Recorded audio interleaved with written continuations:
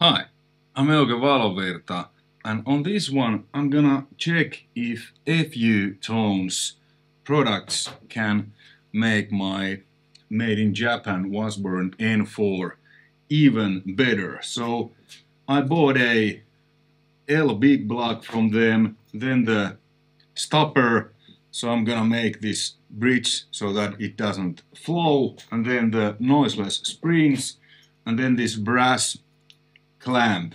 And this guitar is pretty good. If you see my video about this, I already changed the bridge. This is a Floyd Rose bridge because the old old uh, bridge, really good bridge, but it was like 30 years old, so it just couldn't keep up with my playing because I played kind of hard and you know it was it didn't everything almost kind of kind of fell apart. So I changed this Floyd Rose bridge can't remember if this is original or 1000 series. Anyway, really good, good bridge. But uh, I'm gonna upgrade the guitar. This is great guitar, but uh, I don't really like the floating stuff. And uh, let's see if I can even improve the sustain and tone with these, because this sounds fairly good, good now.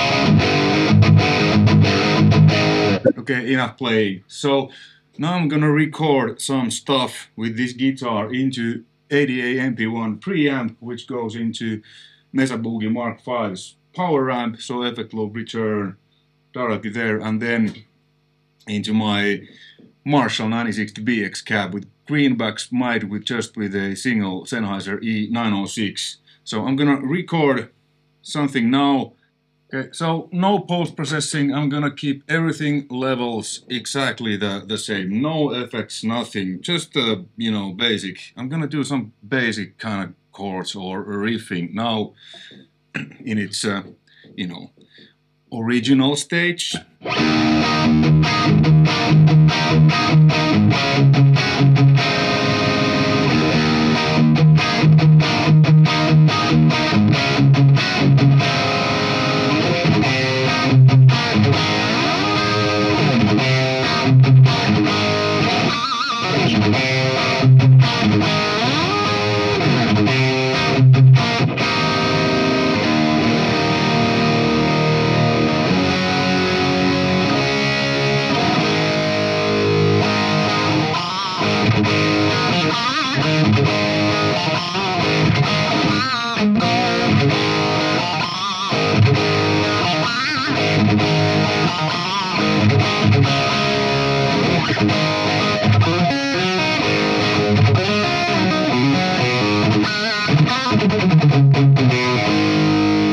Then just some, you know, Lee stuff.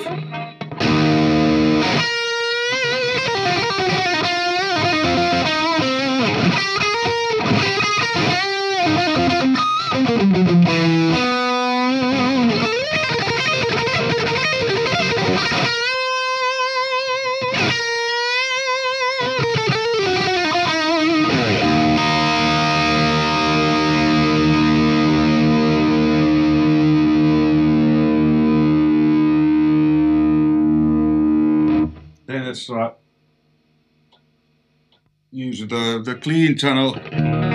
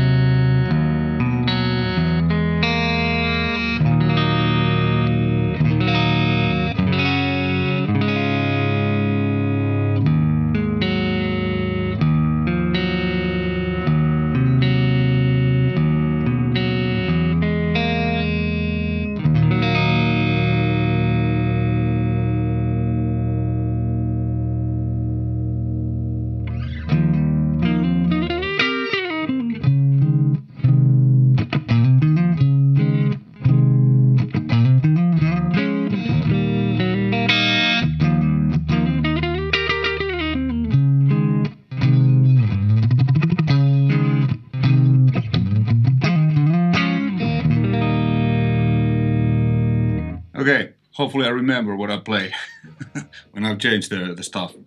Cool. So here I am at my workshop and uh, FU Tone, they have a great videos Adam Reiver has done.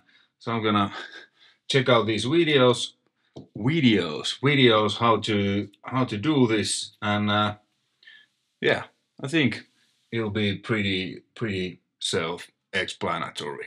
And this is, by the way, also the room where my my Marshall cabinets are. They are they are there always, Mike, both always on. So uh, yeah, cool. So I'm gonna remove the strings now, but I will use these same strings when I compare, so that there's you know nothing to make anything brighter or whatever. But anyway, as Adam you know has guided me, I'm gonna remove the strings and just actually I'm gonna remove them from the bridge and just take them here so it's easy to put them back.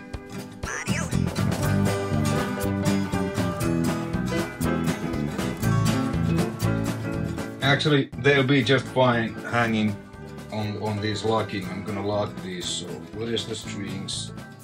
Fine and dandy. Cool, then what Adam says. Flip the guitar.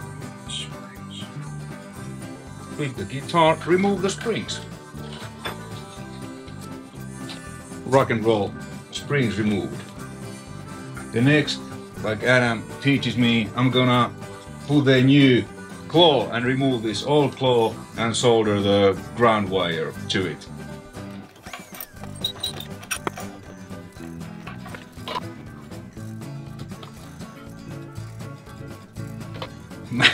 Man, it's really hot, so I need to I need to let it cool down before I screw it in, in place. Like Adam said there, good ironing, you know, stuff, and uh, I think every guitar player should know how to solder stuff, because this is kind of like your, you know, basic stuff that, uh, in my opinion, every guitar player should be able to do. Alright, now I'm gonna screw this into place and then I'm gonna take off the bridge and we'll start to work on changing the big block. Cool picture taken, so I kind of know where the intonation saddles are. And I will put them on the table in the order that, uh, you know, this one is the high E, B. This multi-tool is uh, Ibanez, but I'm pretty sure many companies make make similar guitars next have a you know radius so these need to be in the correct order otherwise your this radius will be effed up. So I need to put them back into their places where they were. All right the, it's there and as you can see the the L shape you know it, there's just room for the bar because you know more mass is more. More is more. Okay, then we're gonna look the spacing where the saddles were and put them approximately to there. So it should be pretty close already. Yeah, looks pretty much the same, alright? What next? Tell me Adam. Okay, so now I'm almost leveled the bridge so that it's floating and it's it goes pretty much you know along with the with the body. And man I can the tuning is whatever but I already can feel that it's a lot better sustain and it's louder. And the way you change the angle of the neck slightly because sometimes that'll do the trick if you're having the problem that the strings you know fall off you just loosen these a bit and press heavily so it goes, you know, this way. And then you tighten the, the screws and keep the tension. You know, don't be afraid. These are tools. Guitars aren't sacred, they're meant to be punished. yeah, did the trick. Because I changed the angle a little bit. A tiny, tiny amount of like this. Now there's more room. for the E, e string. Okay, when I do this to my EVH Frankenstrat, I'm gonna put this first, because now it's pretty much impossible to put this here. Maybe with a tool that I don't have that Adam has, so I need to take off the bridge so that I can screw this on. So uh, in the future, because I, I, have two, two of these sets, so I'm gonna install this same to my EVH Frankenstrat also. But you know, you learn by doing. like that. Hopefully you can see, maybe not. There's a tape now that prevents the clicking sound.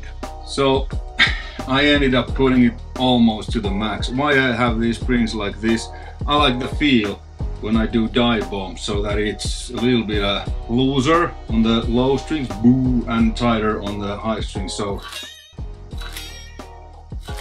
yeah, double stops, but then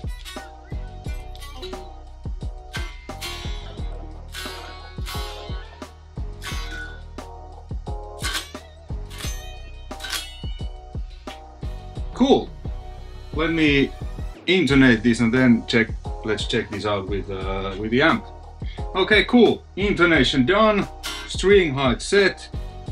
I usually or always set up my string height, whatever feels good, but someone's gonna ask anyway, so let's let's check out. Now the neck is pretty straight, so I do it like here where the neck, you know, joins the body.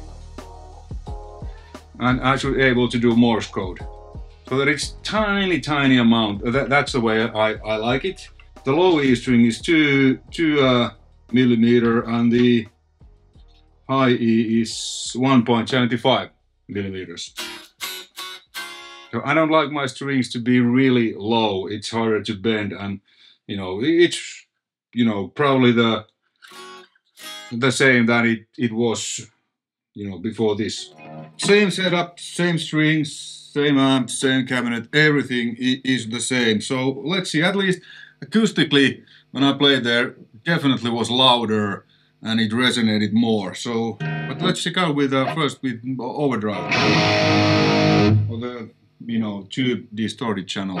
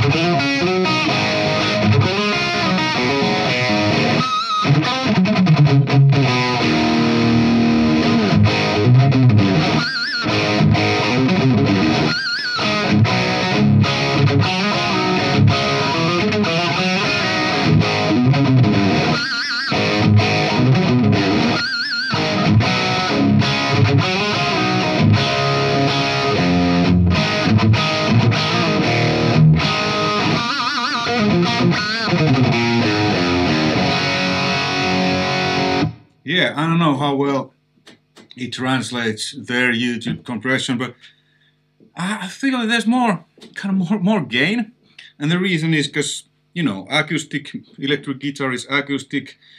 Pickups pick up the sound you make with these two things, and since the guitar sounds acoustically louder, there's more, you know, volume, whatever stuff, pickups to pick up and transfer into amplifier. This way the amp gets a bit hotter signal, a bit louder signal, so the tubes, because the ADA, a tube amp, tube preamp, the tubes will distort a bit more because they get a hotter signal. So it, I feel it's a little bit more punchier, more uh, more tone, more everything, more is more. Let's hear a little bit some, you know, lead lines.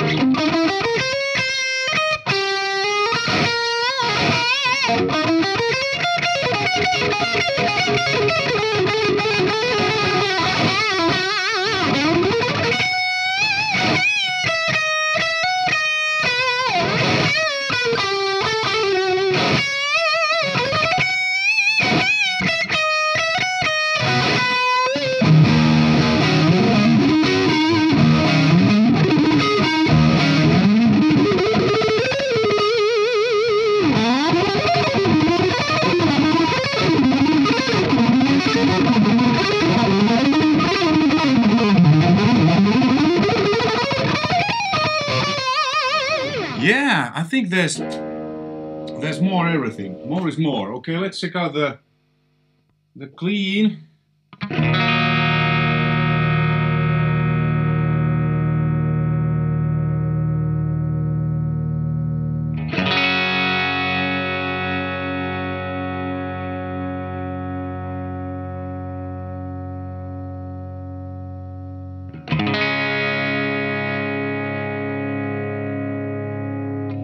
Wow! At least the su- there's more sauce than like a lot.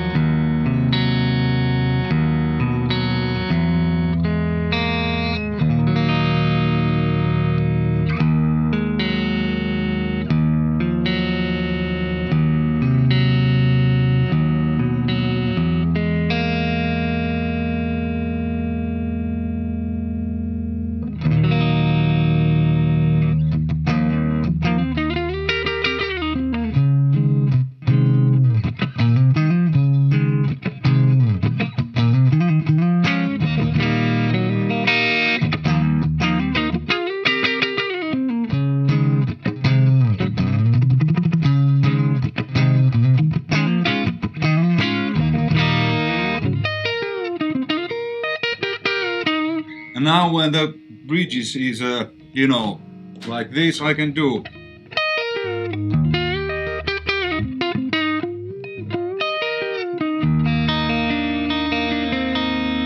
Let's add chorus.